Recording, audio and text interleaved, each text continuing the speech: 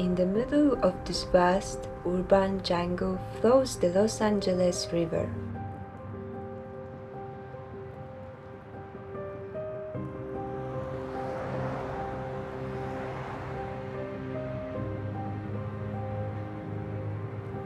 From its source, it runs through highways, skyscrapers, and webs of steel wires until it reaches Long Beach, where it finally meets the Pacific Ocean.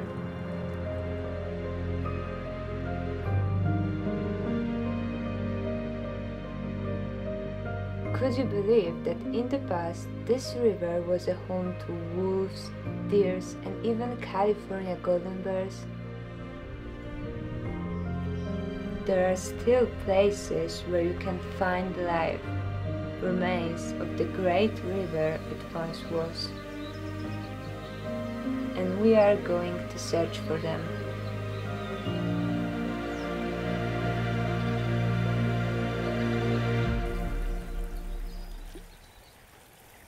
When I first came here, I saw a narrow concrete drain without any signs of life. And that is not how I imagined the Los Angeles River. The LA River was once a completely natural wild river, just like any other river you can imagine.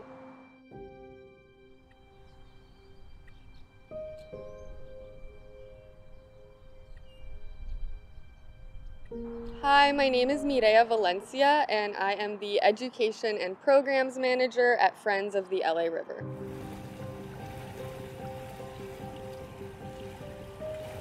Most people looking at the Los Angeles River don't see it as a proper river.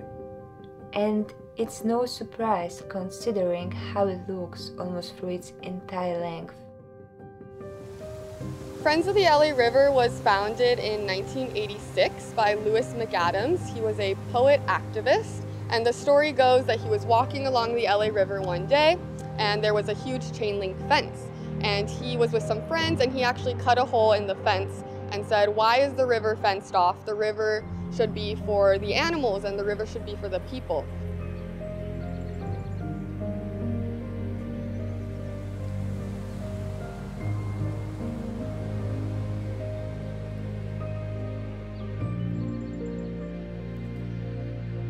From its source to the mouth, the river varies a lot. We saw a narrow concrete channel areas full of trees and birds, and we saw it become a wide river at its outlet.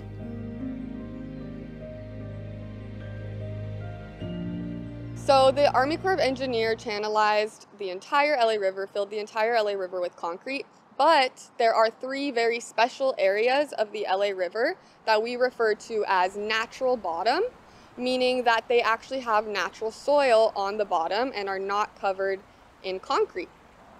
And these three areas are the Sepulveda Basin in the San Fernando Valley, here at the Glendale Narrows, and another area down in Long Beach. So these three areas have concrete on the very sides, but the middle is natural soil.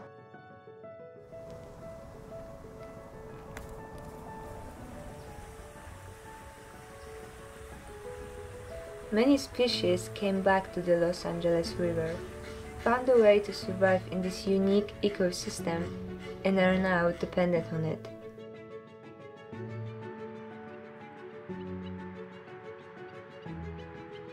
There are lots of birds in the LA River that you can't find in other parts of LA because they need fresh water, they need a river riparian ecosystem.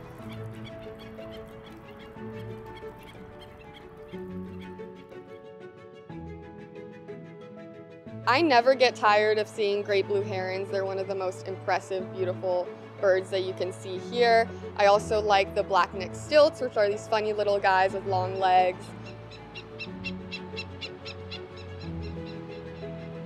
You can also see some animals in the water. Like I have, finally after three years, I saw some frogs hopping around in the river, so that was really exciting.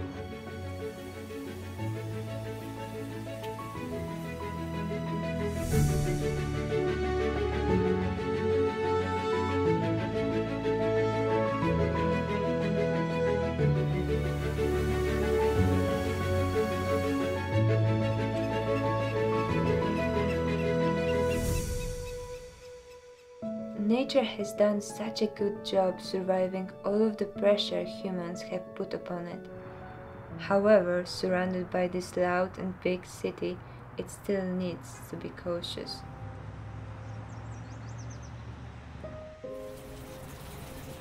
Being an urban river, the LA River is currently threatened by pollution because the LA River is so connected to the city, to our streets via the storm drains, via the infrastructure. The millions of residents, each individual action can impact the river.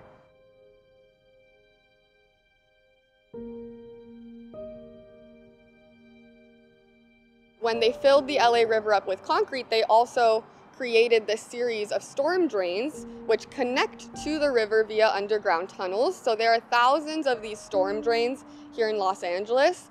So when people litter, when people throw trash on the ground, or when there's any liquid contaminants on the ground, such as fertilizer, uh, those will all get washed into the storm drains when it rains. And we saw the consequences of every single one of those actions along the entire length of the river.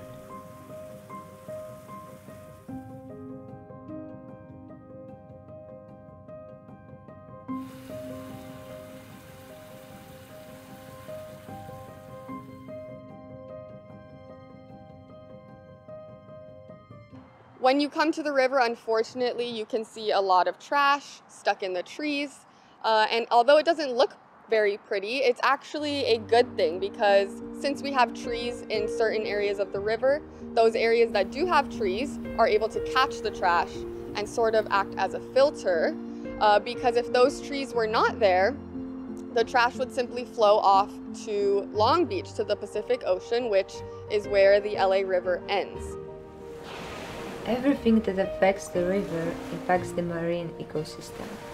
By preserving the Los Angeles River, we are protecting life in the Pacific Ocean.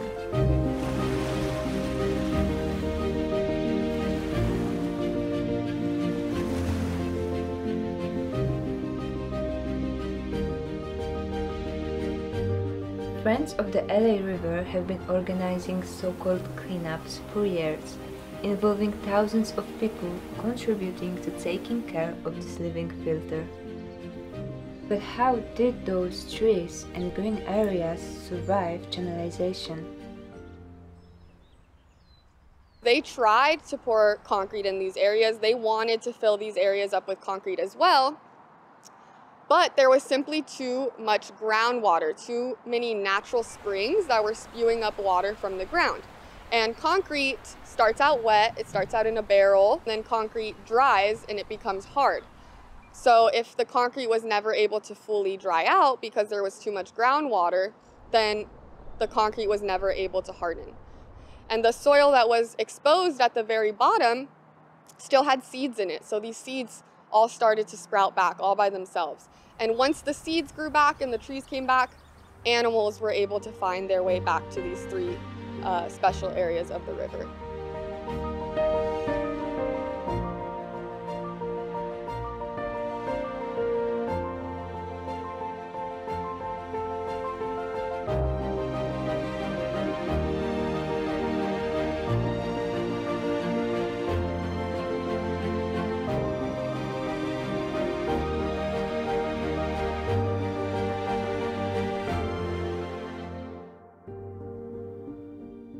Failed attempt to cover the riverbed with concrete gave nature something to come back to, but definitely not enough to let it fully recover.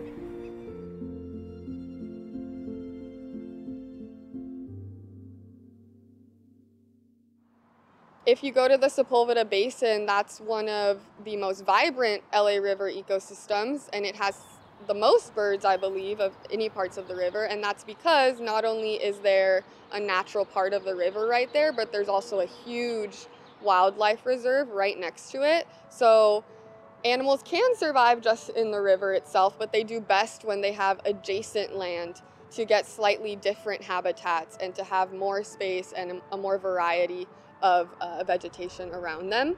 So it's not only about just fixing the concrete channel itself, it's also about creating spaces around the river.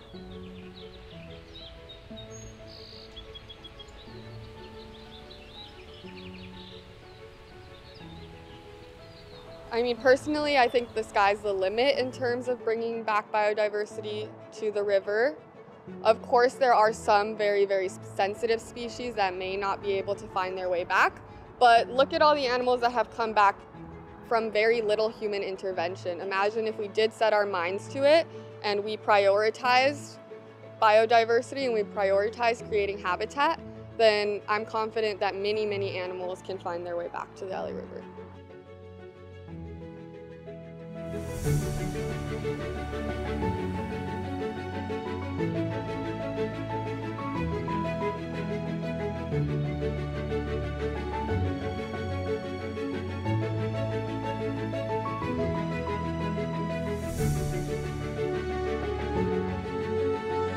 I think the LA River is the prime example of how resilient nature is. Humans tried to cover it up in concrete and nature said, no, we will not be covered. We will grow back and we will persist. So to me, that's really inspiring.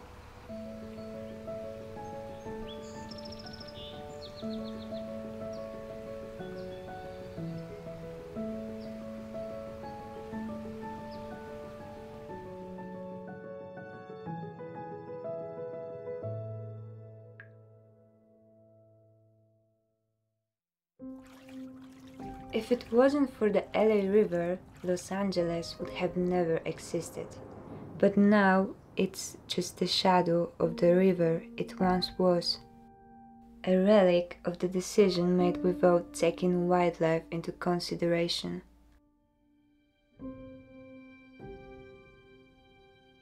Behind this story of constant struggle between nature and man, we found the richness of life we did not expect to find. Imagine what this place could look like if instead of fight we chose to cooperate.